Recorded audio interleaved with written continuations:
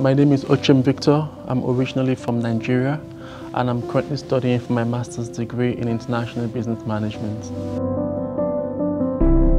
Proud to enrolling at Cardiff Met, I headed the business development department of one of Nigeria's foremost dialysis centers. I guess I've always wanted international exposure. I've always craved for international education because proud to enrolling at Cardiff Met, I've always studied only in Nigeria. Amongst all the reasons has to be the quality of education that is being received here in the UK. We decided to go with Cardiff for a number of reasons, but above all has to be the quality of education of Cardiff in UK.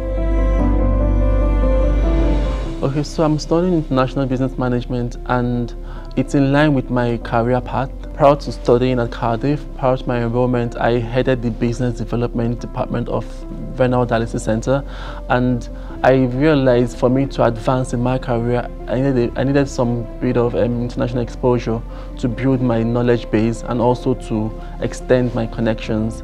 So yes, my course talk um, is all about business, managing business, um, being abreast with international policies and also you know, everything that has to do with business, administration, project management. Top the list has to be the student-centered focus. It's the, the way the models are being structured to be very flexible because I work part-time and I also study. So it's all about time management at the end of the day. And the new thing I came to realize when I got, got to the UK was it's different. Like assessment is based on student performance. We don't have, for my level of study, we don't have examinations. We have assessments, and these assessments are based on what you impute into your study, how much of time you put into the study.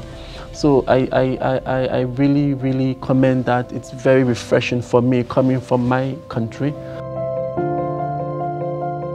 Sleeping has to be on top of the list. I like to sleep when I'm not studying or working. I like to watch um, a bit of movies. I like to play chess. I like playing chess a lot. I, when I want to, when I feel like it, I pick up a good novel and read. And then I like to take walks. I mean, to enjoy the scenery. Well, um, as it is right now, there is a post-study work visa.